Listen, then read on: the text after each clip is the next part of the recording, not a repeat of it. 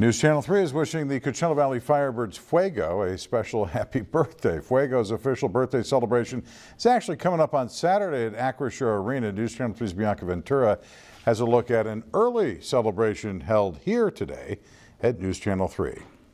As broadcast partners of the Firebirds, we wanted to be the first to wish Fuego a special happy birthday. Happy birthday, Fuego! And we know KESQ has been with you since day one, so we had to invite you to our home. What do you think of our home? 10 out of 10? I love it. Well, as media partners of the Firebirds, we wanted to throw you a special Fuego Fiesta. We know you're going to be celebrating with all of your friends at the arena, but we had to bring you to our turf. Let's go inside and celebrate. Let's go.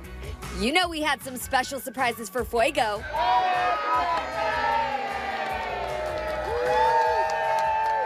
We wish you a very happy birthday. Happy birthday to you. Happy birthday to you. Happy birthday, dear Fuego. Happy birthday to you. Now that the party's over, it's time to get to work.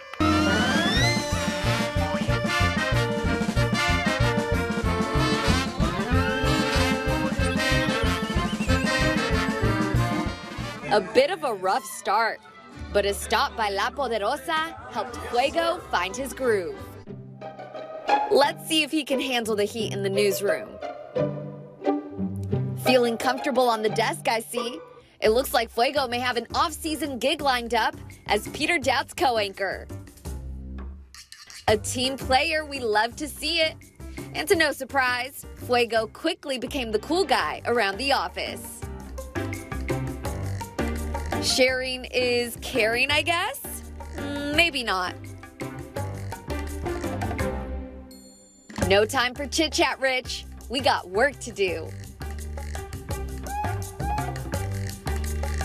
Another great day in the newsroom. Now, where's that birthday cake? Fuego, wouldn't you say we know how to throw a pretty good party here at KESQ? Thank you so much for stopping by our home and allowing us to throw you a special happy birthday. One more time, happy birthday, Fuego. I know that you're gonna keep the party going at the arena this weekend.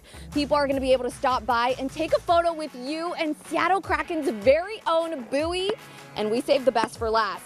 We know that your fans are going to be able to get a special Fuego plush toy. How cool is that? The first 6,500 people in the building will get their hands on a Fuego plushie.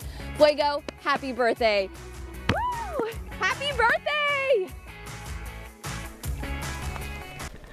He was treated better than everyone else here on their birthday. Exactly.